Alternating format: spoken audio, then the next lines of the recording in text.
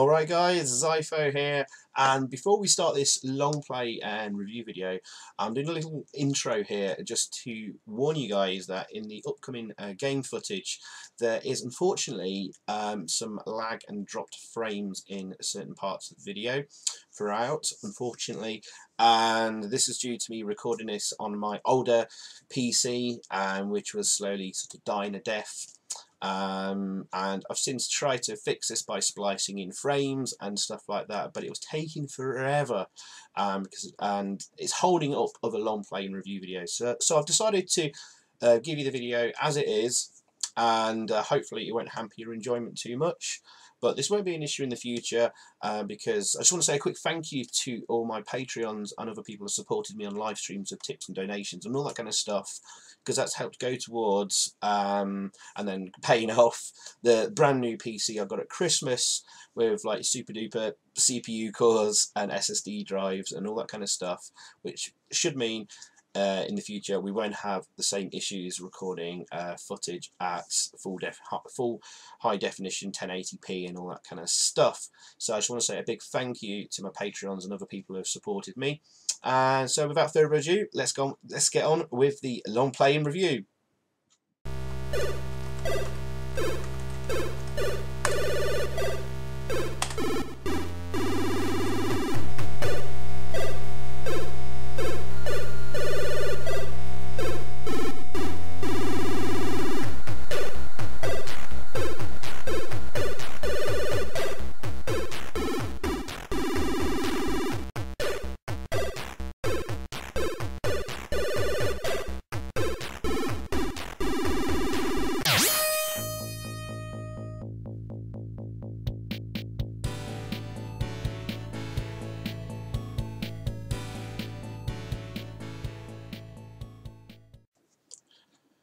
guys, this is a long playing review for Exolon on the Amstrad CPC, released by Hewson in 1987 and programmed and made by Raffaele Cecco.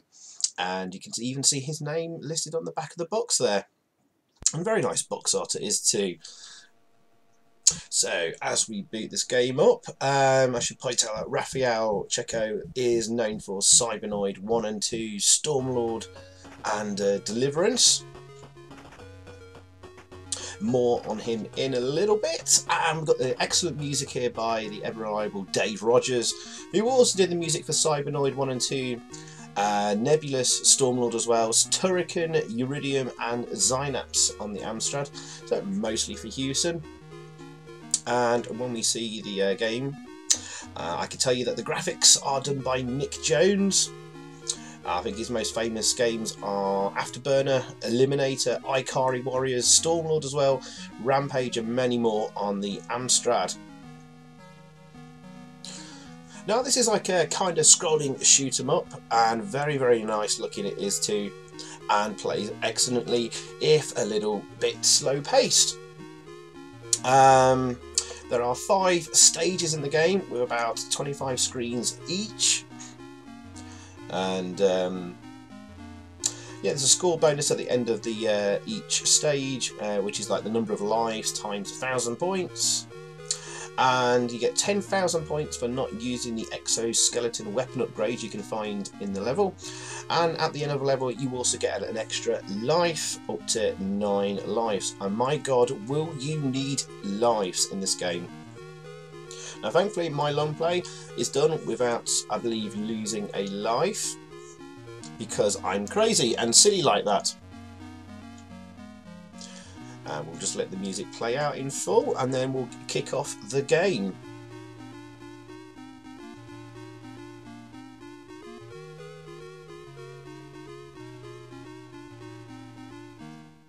There we go. Alright, let's uh, define our keys and a pretty simple setup, one fire button and off we go. Now you're moving from left to right. Now if you press the, if you lightly press the fire button, um, he will fire a bullet. But if you hold down the fire button, he fires a rocket grenade from his backpack. Although it kind of looks like it's coming coming out of his bottom or something, but uh, Those are teleporters. I've got some very nice sound effects, and I love the explosion particle effects there as well. It just adds a real extra dimension to the game. And just elevates the quality even more. Now you get plenty of uh, ammo and grenades to start with. Uh, there are pickups throughout the level, um, but you can run them down quite quite quickly though if you're not careful. And it's knowing when to use um, your bullets and when to use your grenades. And now these these these turret things are a real swine, so keep ducking and moving, ducking and moving and shooting all the time. And then you get lots of bonus points when you actually pass that um, turret thing there. Now sometimes always there may be like two routes through uh, a particular screen. We've gone for the top route here, which needed some very careful jumping. Um, we've got a missile homing in on us there, but if we destroy the radio tower, it destroys the missile. So if you see that radio tower, quickly get a uh, grenade fired at it. And, and also be careful when you walk on a stage. You may have one of those crusher things coming out through the floor and instantly lose life. Now this thing here, if I pressed, I think it's down or up, uh, I would have upgraded to an exoskeleton. But what we're doing on this first stage is trying to get through without using it because we get a nice uh, bonus at the end of the stage, supposedly according to the instructions. So we will see if we'll get that. Oh, there's another one of those radio towers.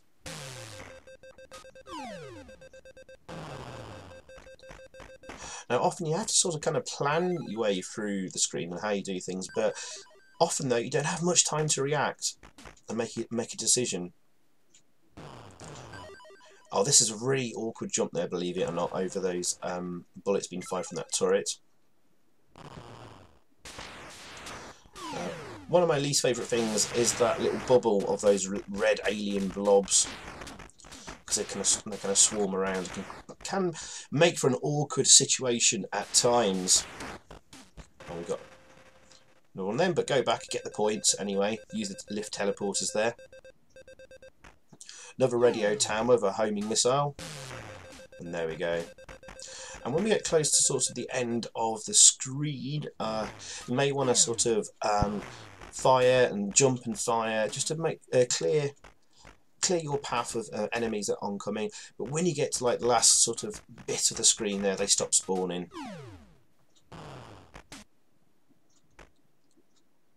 often a little jump before um, you get to that end will mean that the enemy will spawn slightly higher up, giving you a chance to sort of walk underneath or duck. And there we go. Taking a dangerous jump there. And uh, going for the easier route at the top there.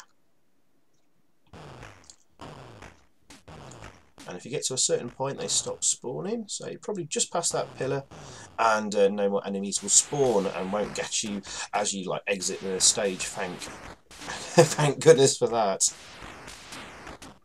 So move slowly fire up duck down and fire keep doing it.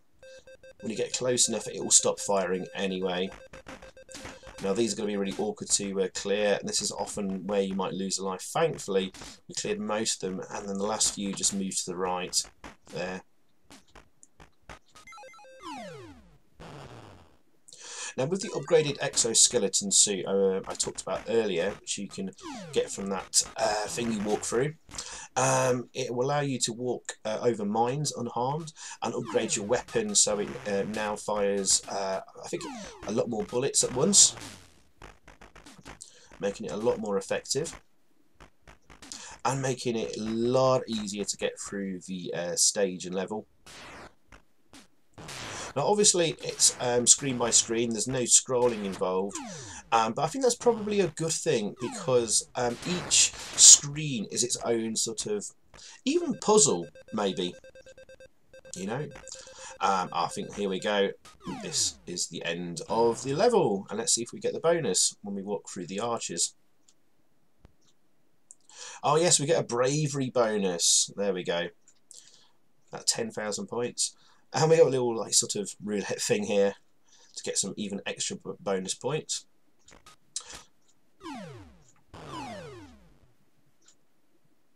Oops, missed a grenade and wasted one there. We're on level 2 already, and remember guys, we've got 5 levels, or stages as they're called. And you can see the zone counter counting down there in the bottom right corner. We've got lives, 9 lives to start with. Uh, we got a, we would have got a bonus life at the end of that level, but uh, we have the maximum of 9. Four grenades left, but we can pick up more from that yellow pickup here and we also replenished our ammo there. Now I need to do a very careful jump there. It's almost like you feel like you're about to walk off the edge of the platform. That's when you jump. Like literally the last pixel of your boot on some of those jumps. Now, I've got no choice but to release those horrible red blobs again. Now there isn't a great deal of variety in the screens as we move between stages really um, but things get a little bit more tougher and um, a little bit more um, well yes ingenious and uh, frustrating I suppose because this is a tough game. I'm kind of making it look easy because it's a long play and we're trying to do this without losing a life but um, Yes, um, I think if you uh, plan and know what happens on each screen. So I've done this stage by stage and made a note of each zone and sort of what I'm going to be doing in it. That's helped me get through this. But for the casual player, this is a tough, tough game. And as I said, I'm making it look easy when really it isn't. Um, Raffaele uh, Cecco games are known for their difficulty. Anyone who's played Cybernoid 1 and 2, Stormlord, etc. In fact, I'm not even sure I'm going to be able to do a long play of Stormlord without like using a cheat to get through it.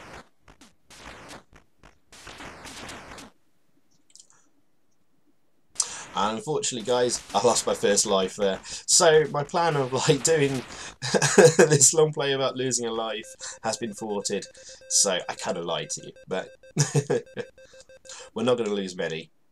Now that's where you upgrade your uh, uh, to your exoskeleton. I'm going to try and go for the bonus again and be a little bit cheeky, and we'll do it on the on the uh, later stages. Uh, yes, you have to destroy that laser to get through it don't walk into it, whatever you do. Uh, we start seeing some newer enemies. We've got like these sort of mutant bees, maybe. They look a bit like bees, to me anyway.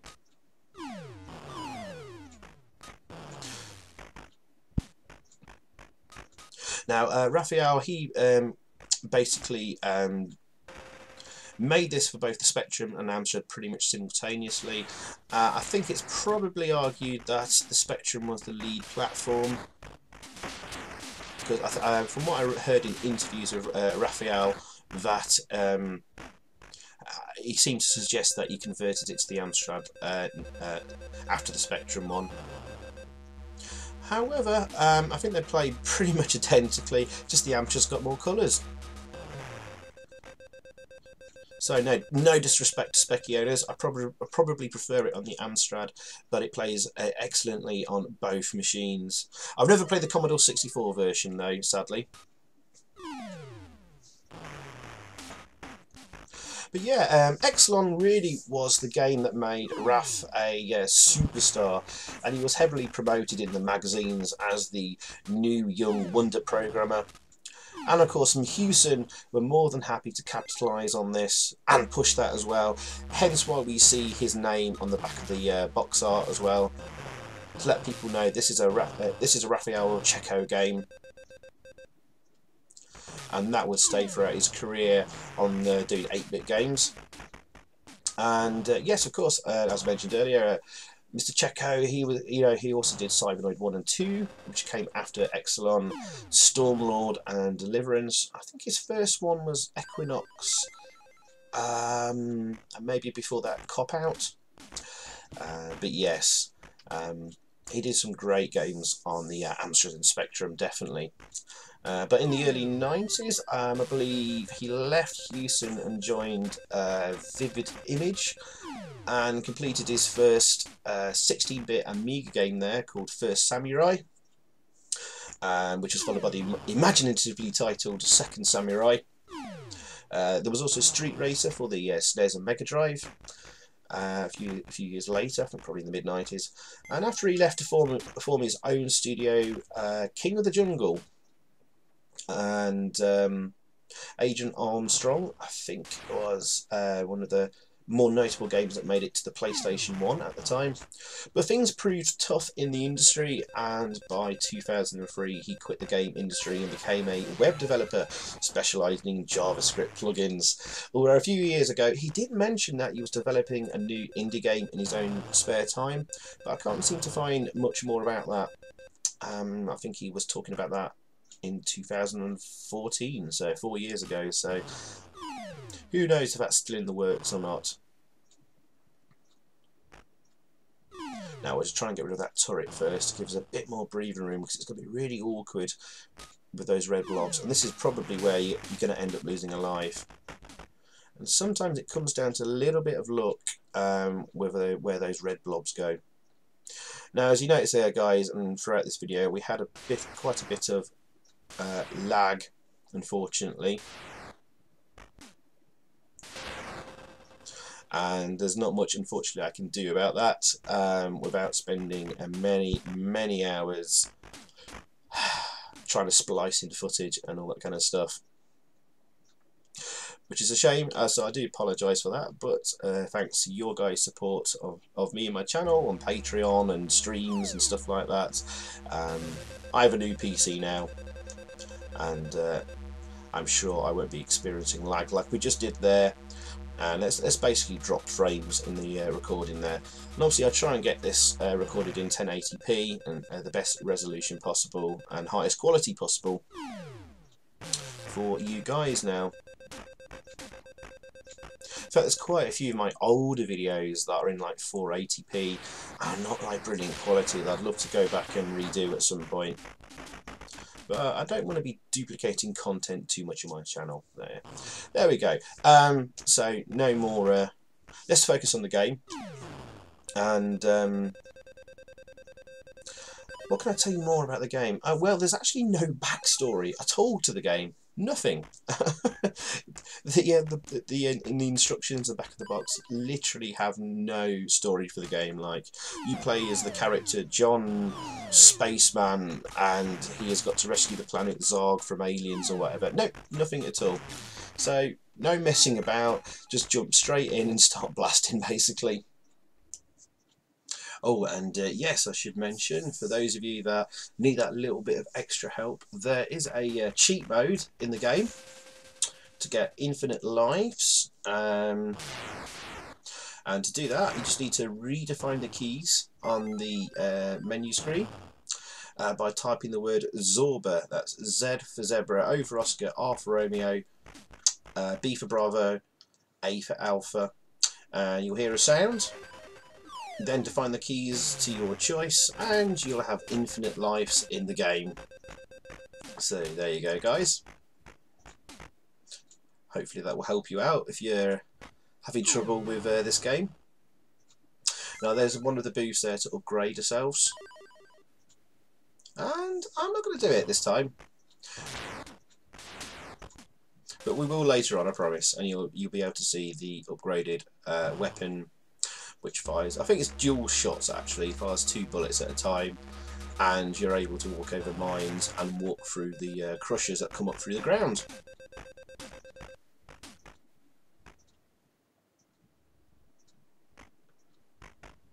One's a little bit tough, got to watch your head because the uh, sprites do clip through the background there. But they'll stop spawning now.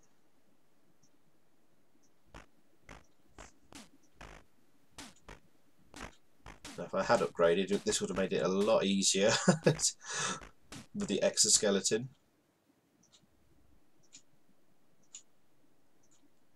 Hmm. Just contemplating what to do here.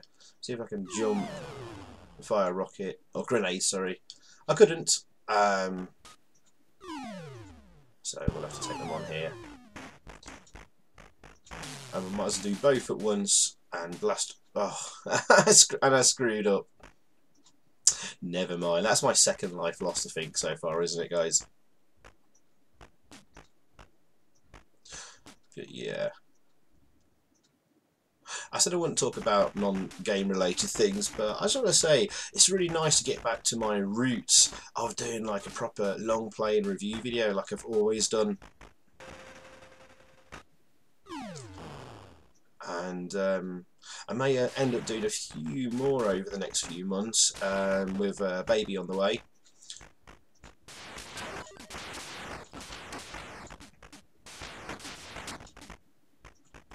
rather than committing to lots of live streams or whatever. Anywho. Nice, some ammo replenishments there. Oh, and a sneaky crusher there was you might not have expected because it pops up quite late. So that's Mr. Cecco there being rather uh, sneaky, I think.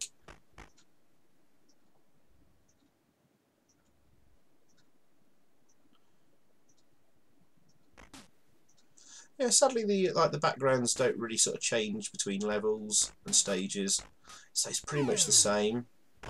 Perhaps my only minor niggle would have been as you move between stages, perhaps like the background colours could have changed or something.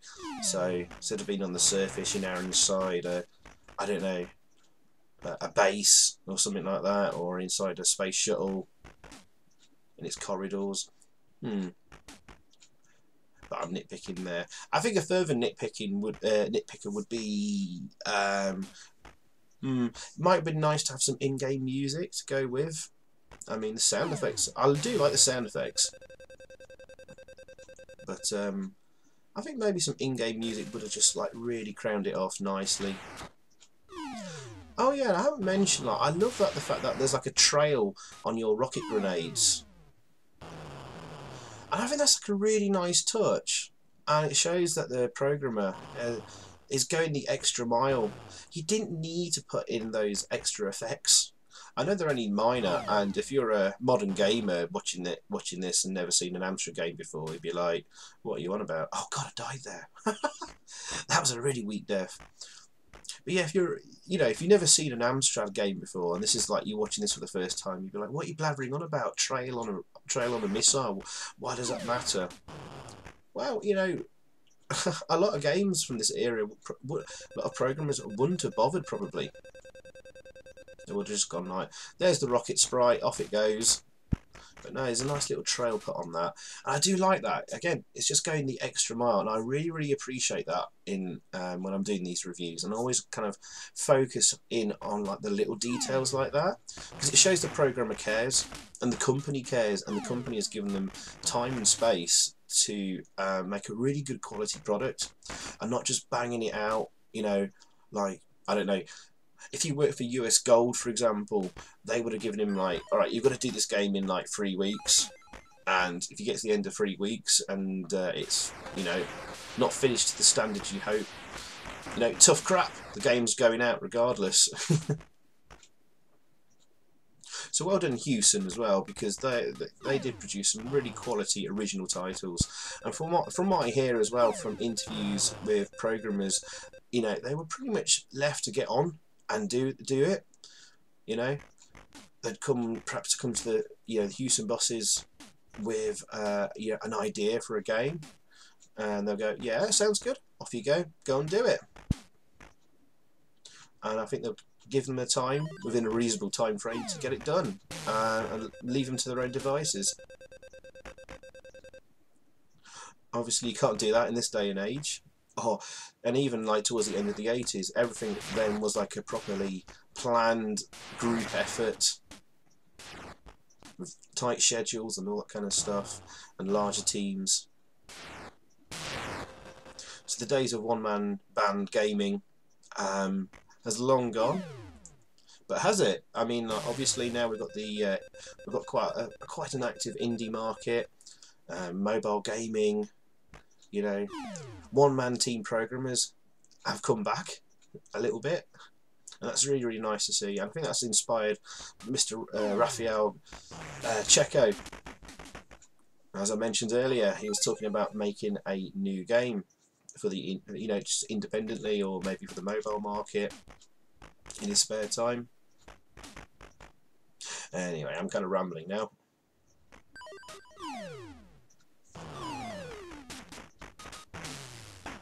So yeah, we're probably just over two-thirds the way through now, guys. Actually, probably further than that, actually. Not far to go. But yeah, jump, jump and shoot, jump and shoot. That's a good tactic. You want to jump just before the end, usually. But um, I, I suspected there wouldn't be a spawn on, on that screen. And I hate these turret things. I mean, thankfully, with the exoskeleton upgrade, you're, you're going to fire you can fire twin bullets, so you don't need to be doing that ducking and shooting, duck sh duck shoot, stand shoot type uh, mechanic. And I was quite lucky there; I didn't get hit by the crusher. So yeah, guys, don't be daft like me. Get the upgrade, and, and like screw trying to get a better score.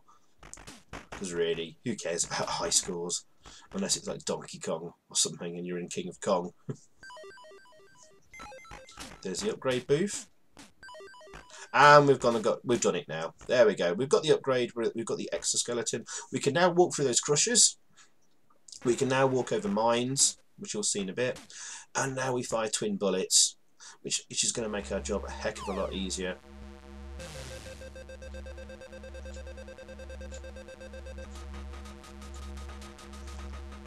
And it only counts as one bullet from your am ammunition supply as well so that's that, that's really nice. It doesn't drain your ammo really quickly. But yeah you can now walk over mines.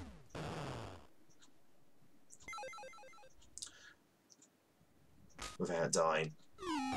Now I think according to the instructions if I remember when you do get this exoskeleton upgrade um, apparently it's supposed to make you move a lot slower but to be honest guys, I can't notice a difference in the speed of the character movement. I don't think even the sprite changes. So, oh well, never mind. Perhaps it was like an idea in the in a design document or something like that that Raffaele never got chance to uh, implement.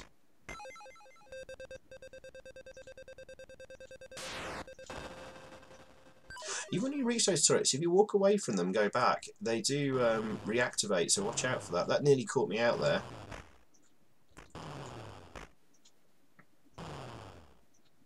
But yeah, guys, if you haven't checked out any of uh, Raffaele uh, uh, Cecco's other games, you've got to check out Cybernoid 1 and 2. Again, they are really, really, really tough. Cybernoid 2, I have done a live long play of.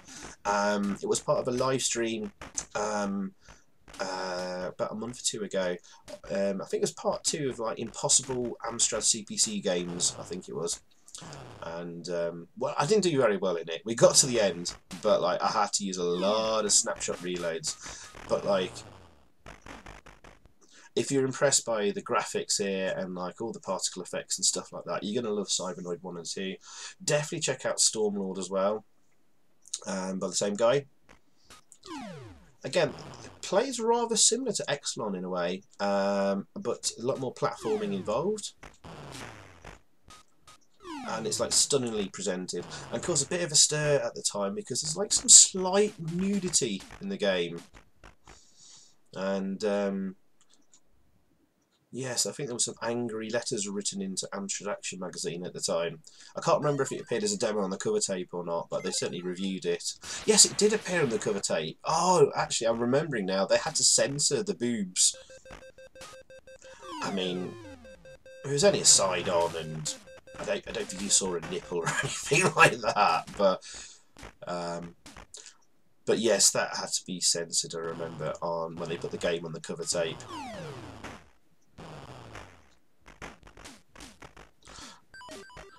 I don't think Mr. Cecco meant it, meant it to be anything sleazy or anything like that. He said it was meant to be pretty. I don't know. But it's kind of surprising to see a bit of nudity in, a uh, full price release game from a you know one of the big publishers. If I'd bought that back in the day as a, as a kid, I'd be I'd be well shocked and surprised. But hey, no well. But those other games definitely worth checking out. There's also a sequel to Stormlord called Deliverance, and that's, I think that was his last game for the 8-bit well, at least for the Amstrad, I think. Essentially, Stormlord 2.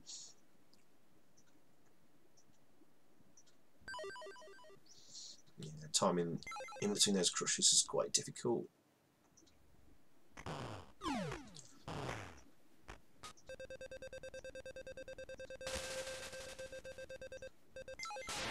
Yeah, really lovely sound effects though. Really lovely graphics. I think I'm coming to like summing summing up a review here because I think this is the final stage. And ah yes, we'll get the upgrade here as well from the booth to the exoskeleton. There we go, twin weapons. Yeah, summing up a review time I think guys. Um, I mean the graphics are really lovely, lovely and colourful. Very well detailed for Mode Zero graphics, which is basically chunky pixels and lots of colours the screen available from the Amstrad's palette, which is gorgeous, as we all know. Um, lovely music on the title screen. Sadly, there's no music in game. That may have elevated things a little bit higher, but the sound effects are really good, so I can't really complain about that. Um, the gameplay's fun. Yes, it is a little bit slow, but I think it's deliberately slow because you're kind of like planning and having to try and make snap decisions very quickly on how you're going to get through the screen.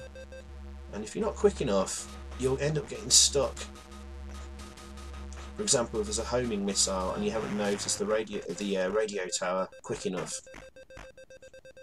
And uh, yeah, it's also nice to have like basically two different routes sometimes through a screen. Will the top route or the bottom route be easier or harder? and what you'll end up encountering. Hmm. Anyway, but yeah, I think I'm going to some um, final review score for this. Um, I mean, it's really close to like a 9 out of 10, 90% a game. It really is.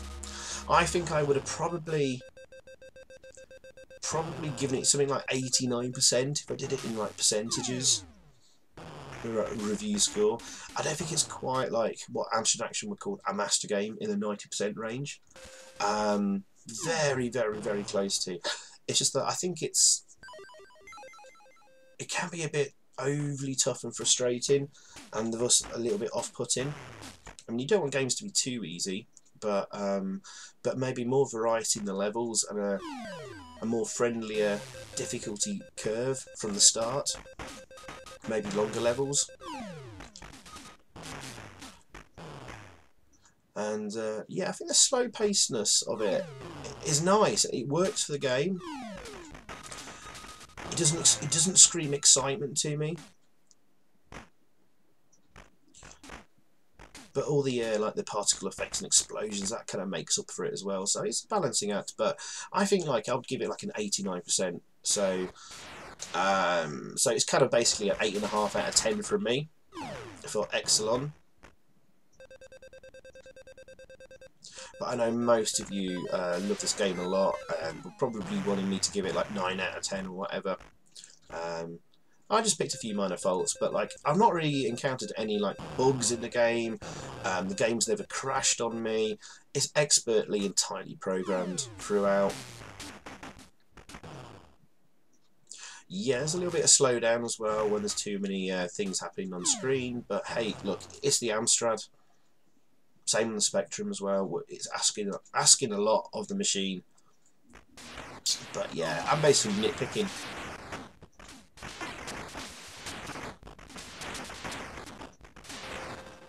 Hmm. Some of you may prefer the faster run and gun of like say like Gryzor or something like that. But if you're looking for more of a slower pace thing, Exolon, Exolon is your game on the Amstrad.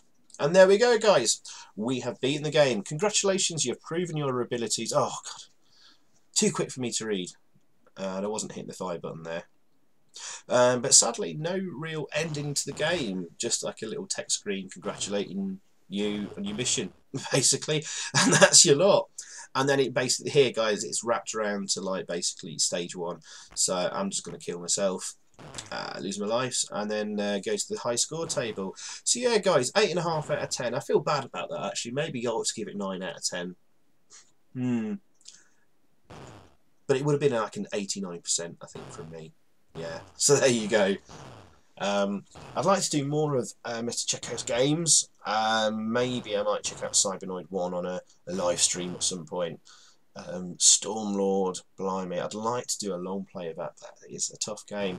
From what, from what I remember, um, there was a guy that used to do a lot of long plays on YouTube. I think Axelino, I think that's his uh, YouTube name. He did a long play of uh, Stormlord, uh, but I think he had to use cheats in the end to finish it. Now, that's quite surprising. mm, but there you go. Um, so there we, yeah, yeah. Might check out more of his games on my channel at some point. Probably in a probably in a live stream of Impossible Games or something. So yeah, I'm going to let you uh, listen to the music one more time before we finish. Uh, but thanks for watching, guys, and remember to um, um, if you haven't subscribed, subs please do subscribe and click the little bell icon next to the subscribe button so you get notifications of when I start live streaming or um, there's a new video that gets uploaded. Um, give us a like on the video if you can guys, I put a lot of work and effort into this one. Uh, leave a comment, as always I look forward to reading your comments and I'll try and reply to each and every one of them um, within the first week or two.